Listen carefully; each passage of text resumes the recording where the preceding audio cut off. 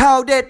789 เข็มขัดยังอยู่ไทยรถถังป้องกันแชมป์ ONE Championship ได้สำเร็จ โดยการเดินบุกไล่เหวี่ยงหมัดใส่วอลเตอร์กอนซาลเวสผู้ท้าชิงจากประเทศบราซิลสุดมันทำให้รถถัง สามารถนำเข็มขัดแชมป์กลับมาเมืองไทยได้สำเร็จ สุดยอดไปเลยรถถัง แสงมณีลุยศึก ONE เปิดซิงไฟต์แรกพบอาซิดฮาลาซีนักชกชาวฝรั่งเศส วันศุกร์ที่ 8 พฤศจิกายนนี้ในศึก ONE Masters of Fate ที่ Mall of Asia Arena ประเทศฟิลิปปินส์แฟนมวยรอติดตาม ทงน้อยเต็มถังลั่นย้ำชัยคิมรวยทงน้อยลูกบ้านใหญ่ มีโปรแกรมขึ้นเปิดโอกาสให้คิมรวยเพชรยินดีอะคาเดมี่ได้ขึ้นชกล้างตาอีกครั้งเป็นคู่เอกนำรายการศึกมวยมันวันศุกร์บวกศึกเพชรปิยะวันที่ 18 ตุลาคมนี้ณเวทีมวยลุมพินี โดยล่าสุดทงน้อยเผยไฟต์นี้ ตนเองเตรียมตัวฟิตซ้อมมากกว่า 20 วัน สภาพร่างกายไม่มีปัญหาแต่อย่างใดพร้อมที่จะขึ้นดวลกับคิมรวยอย่างแน่นอนแล้ว พร้อมแสดงความมั่นใจในรูปร่างและความแข็งแกร่งต้องเอาชนะคิมรวยย้ำแค้นได้อีกครั้งอย่างสนุกประทับใจแฟนมวยแน่โลเงินพร้อมบูตวงซับโลเงินดับลันสารคามผมทำการฟิตซ้อมอย่างหนัก สภาพร่างกายดีเยี่ยพร้อมที่จะขึ้นสกัดทางดังของตวงซับสอสละชีพ ในการชกเป็นคู่ค้ำศึกวันกิ่งทองวันที่ 24 ตุลาคมนี้ณเวทีมวยราชดำเนิน มั่นใจในความแข็งแกร่งและอาวุธมวยที่หนักกว่าต้อสกัดทางดังของตวงซับได้อย่างสนุกแน่